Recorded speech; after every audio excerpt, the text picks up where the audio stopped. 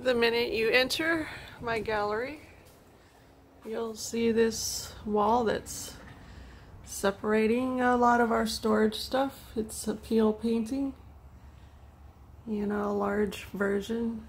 You just squish paint on one canvas and it comes off on the other. It makes a mirror effect. It's incredibly useful, dries fast, is really unique and textured. Anybody can do it. Takes no talent. You just squish, wiggle and pull apart and it makes those cool designs. On this wall is my giant coral painting. It's my first masterpiece in works. I've been working at it for many years. Just, I keep adding stuff these pipe corals on the right were my first at taking palette paint and just rolling it up and making this really cool pipe coral that's three-dimensional. No paint goes down the drain.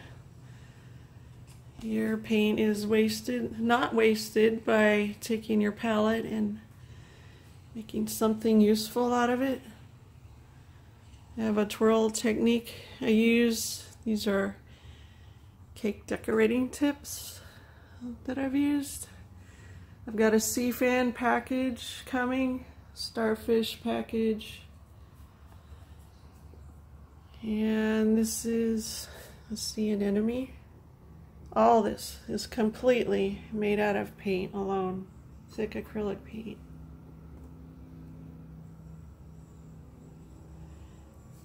I really love this palette knife swipe where I just added pearls that's also made of thick paint. This is my gift shop beginnings my very first little display area that I hope to turn into a big store gallery. These range from $10 to 15 to 25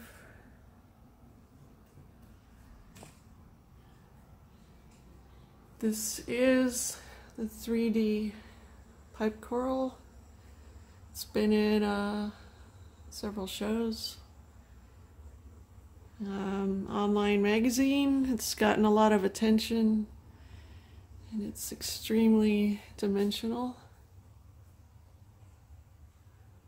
This is one of the higher quality, classy pieces that I teach in my classes online how to come up with this incredibly uh, sculptural stuff just from rolling your palette paint that's unused and you can make this classy painting.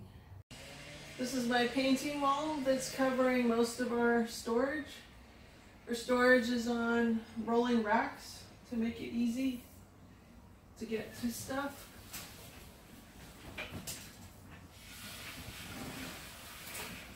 Like here's mostly my vitamins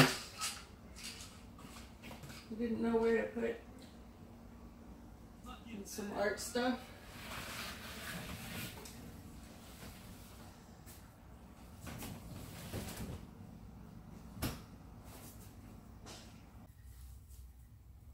This middle one is a good way to store a huge amount of paintings at one time. I just pull out the rack and I use pizza boxes to store small versus larger paintings.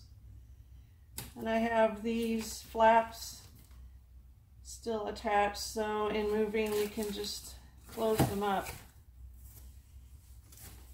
and the paintings are protected.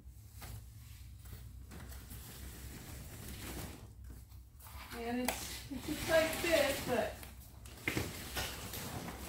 being on a rolling system is just incredible. As we go into the kitchen, this is a favorite piece that I love. Buttery Sunshine is what I call it. It's made from palette knife paint. Monochromatic, that means one color. Various shades, including gold. Um, it's a very healing color. It healed me, brightens up the spirits and uh, it's kind of a neat painting for the kitchen. This painting amazingly has done well over the stove. It's a piece of um, tiles, all acrylic paint. Everything is only paint that I do. This is a barnacle type texture. And I have nothing for the space yet. I got uh, sunflowers in the works. White pipe corals with a pearly color.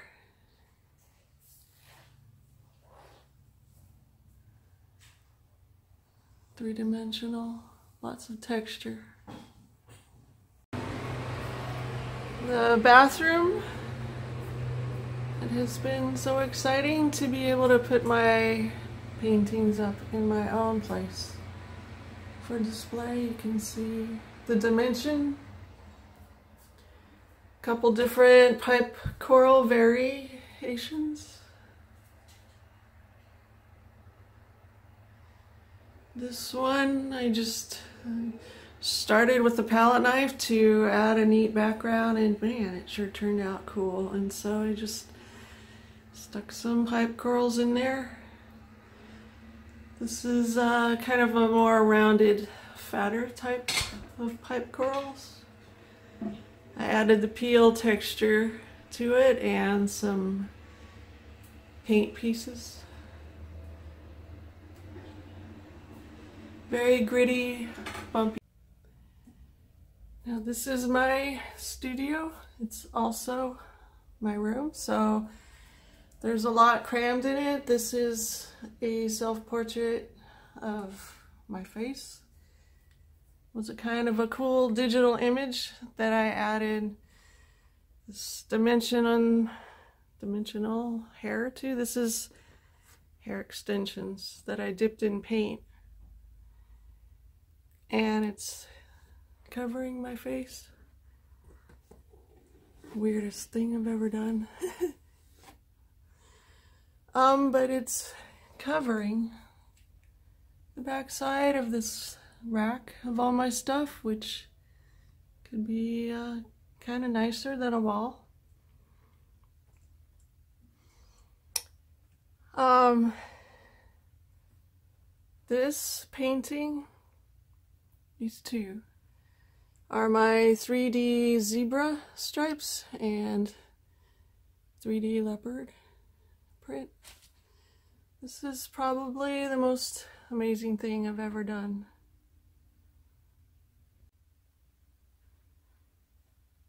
These stripes are literally raised off the surface of the painting and wrapped around the edges to show how cool it is being 3D.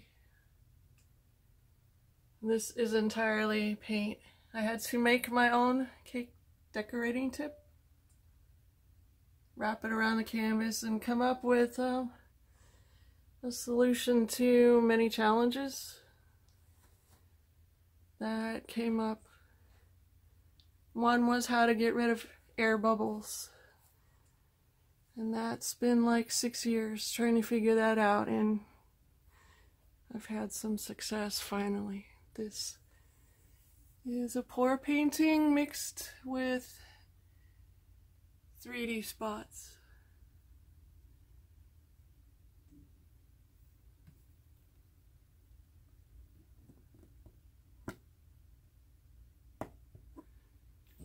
It's pretty sparkly in the light.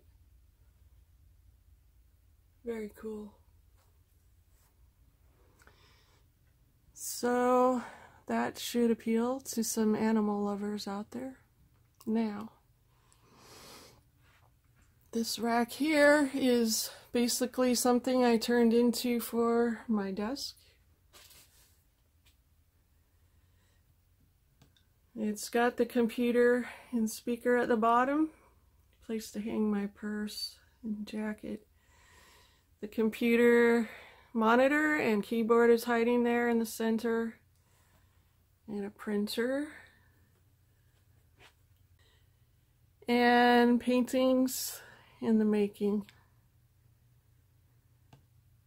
And um spray paints and paint skins at the top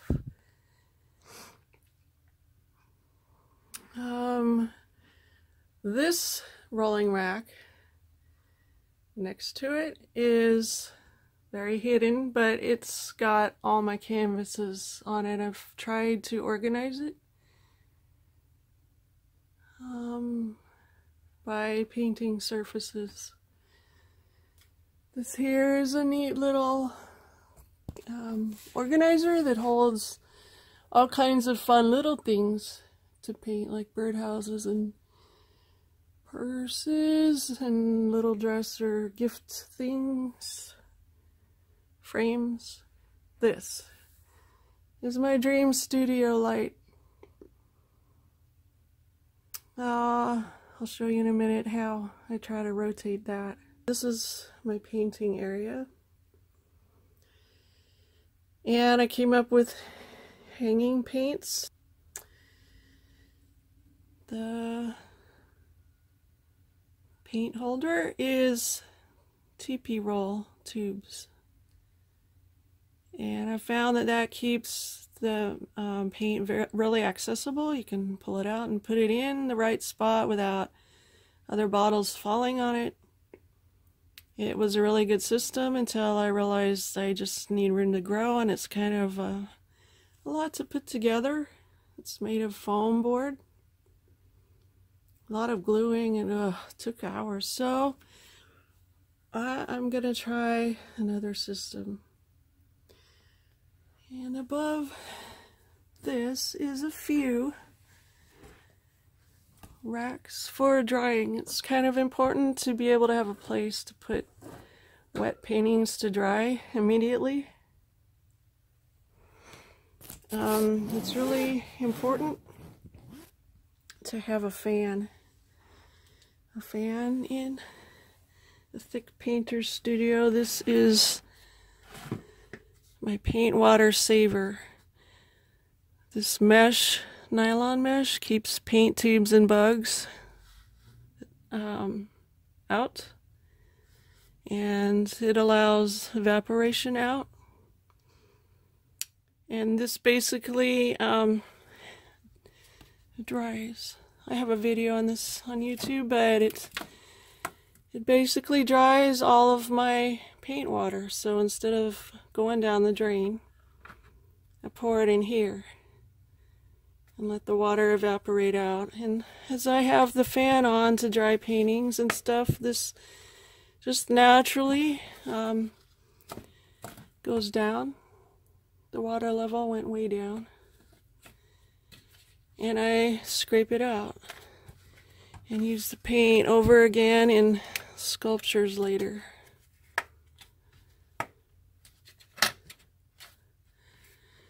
This is one way I came up with to save scraps and even paint water from um, my use.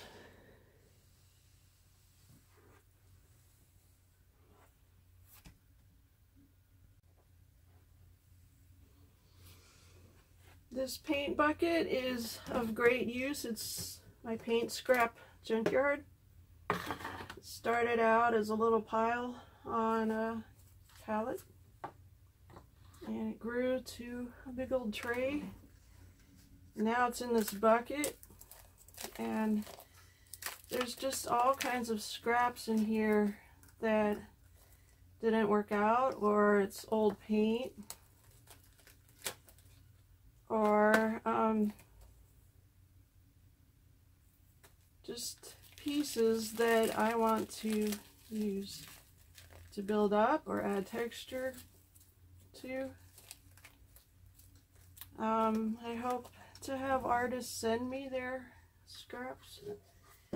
Have a very large collection of unused dried paint for building very large things on a large scale.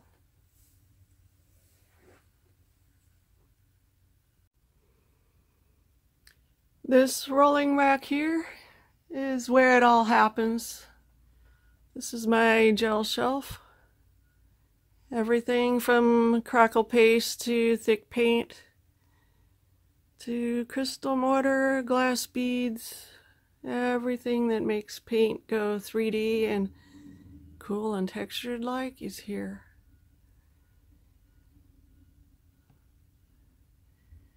There's extras I don't know what to do with and some sculpture items. Up top is some projects. Um, instead of laying them out, I keep them in a little container to help organize little parts. This shelf here is really important. It's all of my palettes.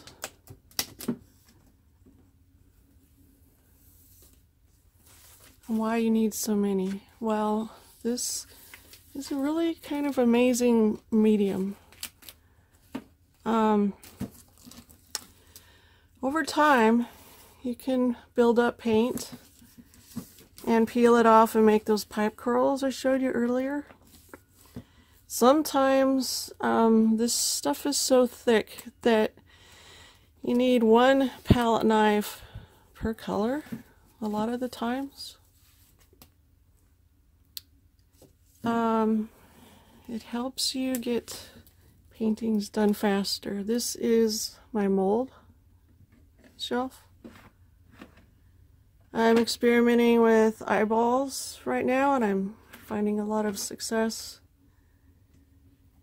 Cake decorating bags, cups to hold it in, um, some clay items, now these shelves, these lower shelves, are also really important. This is so cool because you can pull the whole shelf out. Oh my god. This also is a huge secret. Clay. That is how I keep all these from falling over and being this horrible disaster. You can also make this a portable version. Um, if you forget how many cake tips you have or what type when you're in the store buying new ones, you can put this in one of those organizers I showed you up here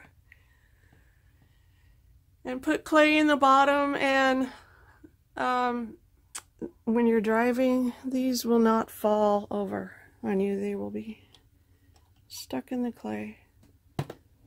The most wonderful invention ever. The rest of these hold brushes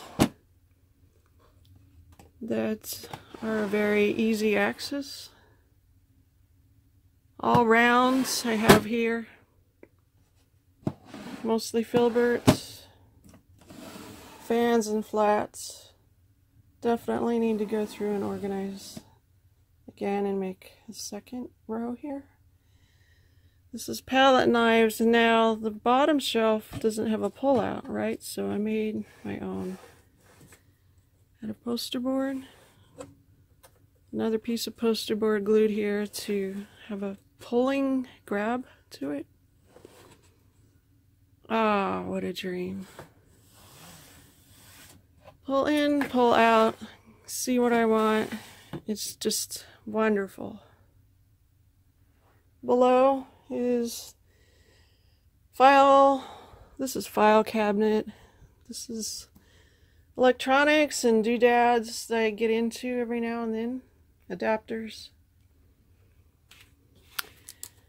Uh, This is office stuff. This one helped to grow to, um, I don't know, a hundred of these. These are all paint pieces. Pieces that aren't in a painting yet that I hope to make a neat little invention called impasto pieces. That's where you just have paint that you um, press in to a painting.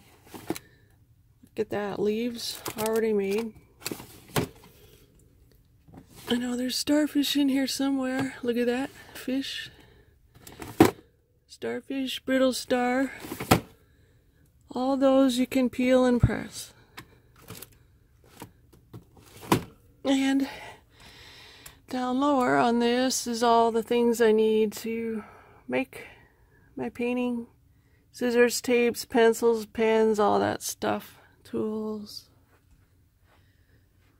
So basically, let me set you down here. I work in this giant U shape um, system that works for me because here I have the computer for reference, easy access.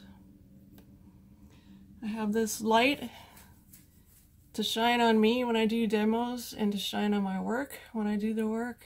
And here I have my paints and brushes on the other side next to me. Everything kind of just works here. Let's see if I could show you my light now. This light, um, I found that it looked like I was crying on camera or my eyes were red and glossy and I didn't know why and it's because the light was so bright it was shining on me and, and making me squint and so this has what you call a diffusing cloth in front of it that softens light. So here I can move it up here to have it shine on my face um, at the right angle or have it down on my work.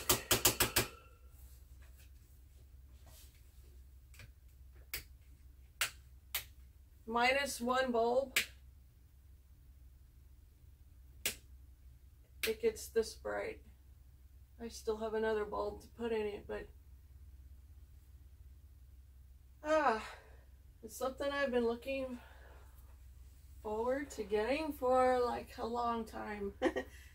and how to figure out how to put it here, this huge thing without a big old stand. I don't have room for a stand, right? So my boyfriend came up with a way to help me hang it from this rack and shine down on here. And sometimes as an artist, you're so, what do I do?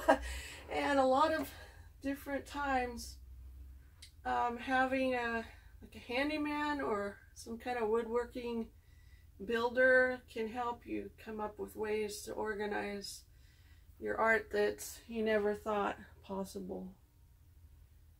Um, so that's my studio kind of in a nutshell. This is my idea to make an art exhibit so giant, a gallery attached to sell the paintings that people are seeing when they walk through this this this giant showpiece.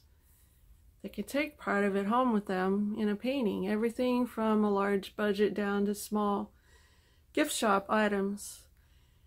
And this is what I'm working towards. So anybody who buys my paintings, all the proceeds will go towards this project. And I want to make gardens around it to be a, just a really great tourist attraction so people can come from all over and enjoy peaceful gardens, get away from the noise, and be inspired by what um, thick paint can do. And it's just, uh, I want to make kind of an, an incredible experience. So those who don't buy from me, um, you can also donate to this great cause and show um, not only artists a whole bunch of different ways they can use to express themselves, but to collectors who want to see the world a different way and just be amazed at all the things that paint can do. So that's my thing, make everything 3D and come to life and see what new things can be made of thick paint. Thanks for coming along and joining me.